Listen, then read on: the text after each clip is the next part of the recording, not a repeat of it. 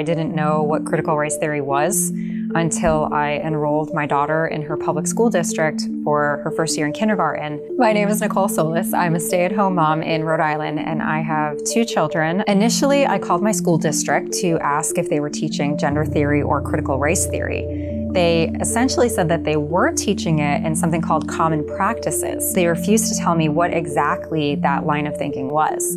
With gender theory, they said that they embed the values of gender identity into the classroom at every age and every class at an age appropriate level. I was concerned that they would be teaching my children values that they have no say over.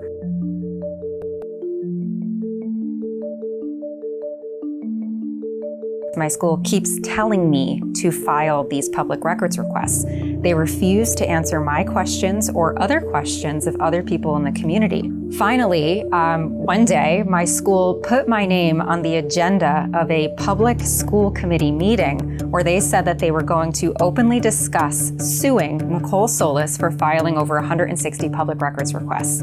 These were the public records requests that they told me to submit. They had a five hour long public school board meeting where they openly discussed my moral character. They called me racist. They debated my political motivations. They invited people in my community to speak against me as if they were witnesses speaking against me at a show trial. They put all of my public records requests onto a big screen and organized them into various categories as if they were admitting evidence against me in my trial. They even said things like, why would anyone want to harm BIPOC children by asking these questions? The implication, of course, being that simply asking questions about public education is harming children. The role of public school is to teach math, writing, and reading. They are not there to teach our children what to think about anything.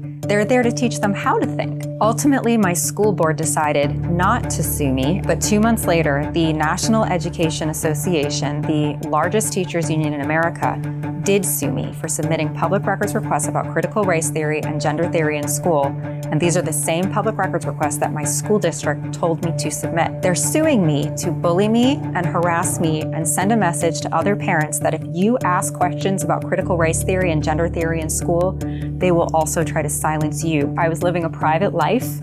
Um, I've never done this before. I've never been politically active. I've never been in the media but I couldn't let my school district and my teachers union bully me in such a public manner. Parents have an absolute right to know what their kids are learning in school.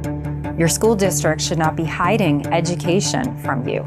You have a right to know what teacher lesson plans are, what the materials are. You have a right to know what books your children are reading in class. You have a right to object to books that your children are reading. And it's not up to the school to tell you whether your objection is valid.